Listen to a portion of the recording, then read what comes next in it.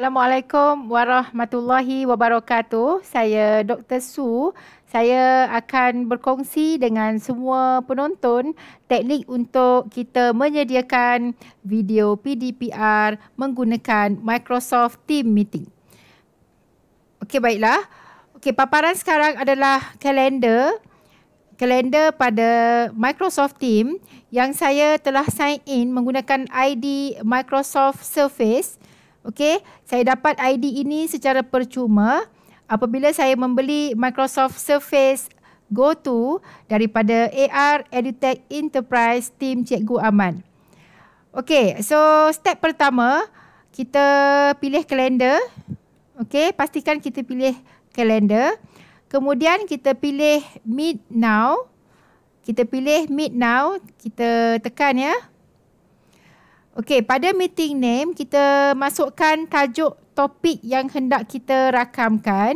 Contohnya ini adalah geografi. Geografi tingkatan 1 bab 3. Okey, dah masukkan, kita tekan terus tekan start meeting. Okey, so kalau kita nak on camera, kita boleh klik on. Kemudian kita boleh semak mikrofon apa yang hendak digunakan. Okey, boleh juga pilih uh, external microphone ataupun default. Okey, by default dia akan pilih mikrofon pada laptop kita. Okey, once dah ready, cikgu tekan join. Okey, bila dah masuk ke dalam meeting, Okey, dia akan keluar paparan ni tapi kita bukannya buat meeting. Kita hanya nak gunakan medium ini untuk buat recording. Jadi yang ni semua kita cancel.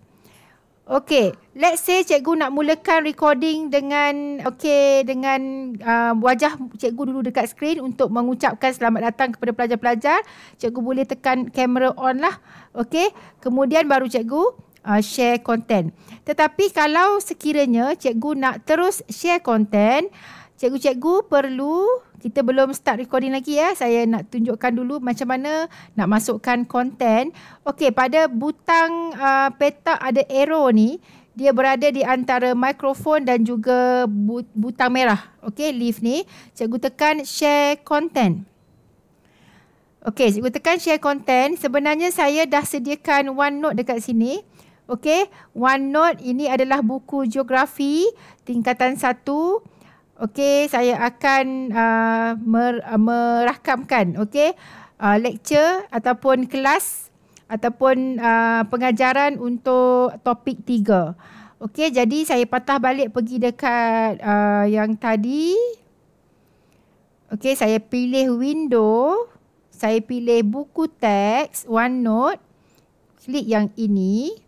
Kalau saya pilih uh, screen, maksudnya saya pilih desktop, yang itu kalau kita pilih, uh, kalau contohnya ada notification masuk, Telegram ataupun WhatsApp masuk, kita akan nampak. Okay, so the best is cikgu terus pilih window, pilih siap-siap apa yang cikgu nak rakam. Okay, cikgu klik uh, yang ini boleh boleh just minimizekan sebab okay mengganggu dan sebenarnya tak record pun sebab dia dia kita tak pilih desktop tadi kan. Okey, so sekarang ini ini adalah buku teks uh, geografi bab 3 yang telah saya masukkan ke dalam OneNote.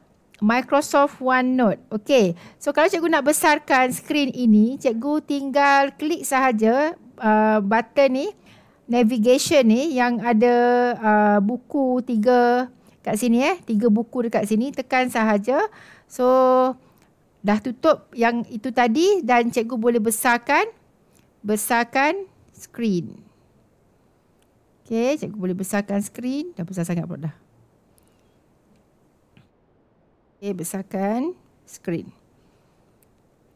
Okey, dan inilah kelebihannya bila kita menggunakan Microsoft Surface sama ada Surface Go 2 ataupun uh, Surface Pro 7 Plus di mana dengan adanya pen kita dapat menulis uh, secara langsung di atas skrin. Okey dan sebenarnya dengan menggunakan Microsoft Surface Pen dan juga Microsoft OneNote apps Okey OneNote apps kita dapat menulis dengan begitu lancar sekali. Okey, dia tak sama ya bila kita open OneNote daripada browser dengan kita open OneNote daripada apps. So pilihlah uh, untuk menggunakan OneNote daripada apps untuk mendapatkan hasil yang uh, terbaik. Okey, cikgu boleh mulakan uh, dah ready eh. Cikgu nak buat recording. So cikgu patah balik. Cikgu jangan lupalah uh, patah balik pergi dekat sini. Kita dah tadi baru setting ya. Cikgu okey, sekarang cikgu kena pilih Okey, tekan dot dot dot more action ni butang uh, dot dot dot sebelah kamera, sebelah breakout. Ini ni break, breakout, ini kamera. Okey, dia nama dia more action dot dot dot tiga dot ni. So dekat situ ada start recording start recording cikgu just tekan recording ni Okey, nanti dia akan hilangkan skrin hitam tu bermakna kita dah boleh mulakan uh, boleh mulakan bercakap lah. Okey, dan cikgu juga boleh sebenarnya boleh klik balik untuk tengok lah. Okey, dia dah start recording. You are recording. Uh, jangan risau cikgu klik ni pun tak masuk sebabnya kita tak capture yang yang ini. Kita hanya capture one note.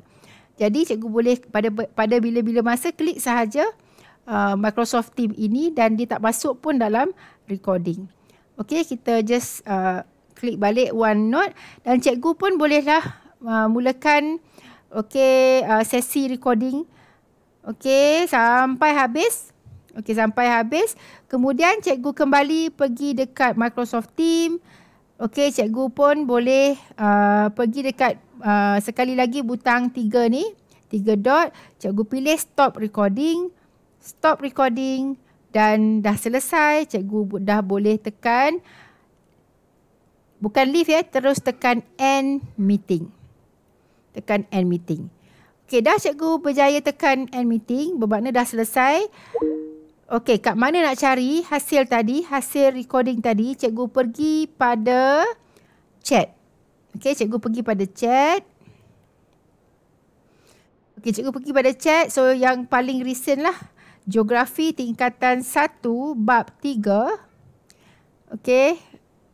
Geografi tingkatan 1 bab 3. So kalau belum ada, okey cikgu kena tunggu sekejap. Nampak tak kat sini dia tulis meeting uh, recording has stopped saving recording to OneDrive. So dia memang akan ambil sedikit masa lah bergantung kepada berapa minit uh, video cikgu tadi tu, rakaman cikgu tadi. Kalau kalau pendek uh, sekejap je lah.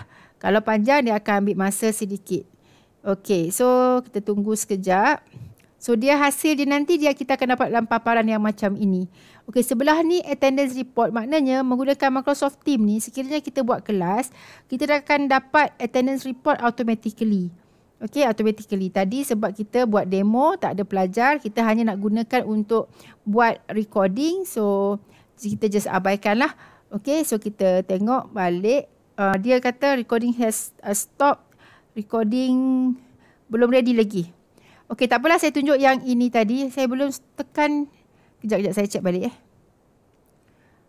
Uh, pergi balik dekat. Okay, dia seperti tak tutup lagi. Saya masuk balik sekejap.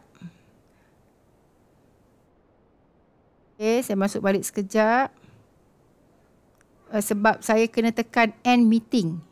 Okay, kalau cikgu uh, tak tekan end meeting, cikgu tekan leave, uh, dia tak end meeting. Okay, nak end meeting, kena terus tekan uh, end meeting. Untuk untuk stopkan recording, kena tekan end meeting. Okay, bukan tekan leave. Okay, end meeting. Okay, uh, so tadi tu sebab apa? Sebab tak tekan end meeting, tekan leave. Okay, uh, so kena careful lah. So bila kita dah uh, siap, okay, kita dah siap mengajar, kita nak stop, kita kena pilih end meeting. Bukannya tekan leave. Okay, uh, sekejap je dia dah appear dekat sini. Okay, kalau satu jam tu ambil masa sikit lah. Tapi kalau dalam beberapa minit tu memang immediately appear sebenarnya. tu yang tadi pelik tu. Okay, end meeting ya cikgu. Kemudian kita akan tengok hasil dia. Klik ya, klik yang ini. Okay, nampak tak nanti kan dia akan keluar geografi tingkatan satu. Geografi tingkatan satu. Okay, so kita anjakkan. Anjakkan. Okay, nampak tak cikgu? Okay, so hasil ni Ini adalah pun tak masuk sebabnya kita tak capture yang yang ini. Kita hanya capture OneNote. Jadi cikgu boleh pada pada bila-bila masa klik sahaja uh, Microsoft Team ini. okay, kualiti audio juga terbaik, kualiti uh, gambar, okey, uh, skrin kita juga adalah terbaik. Okey. So Cikgu boleh gunakan teknik ini untuk merakam video pengajaran dengan sangat mudah menggunakan Microsoft Team Meeting. Okey, so sebelum saya mengakhiri sesi ini, saya ulang. Baiklah, uh, demikian ya perkongsian saya untuk kali ini. Teknik bagaimana untuk kita merakam video pengajaran menggunakan Microsoft Team Meeting. Okey, menggunakan team meeting untuk kita merakam video pengajaran dengan kualiti yang terbaik. Okey, terima kasih semua. Kita jumpa lagi dalam sesi perkongsian yang akan datang. Assalamualaikum warahmatullahi wabarakatuh.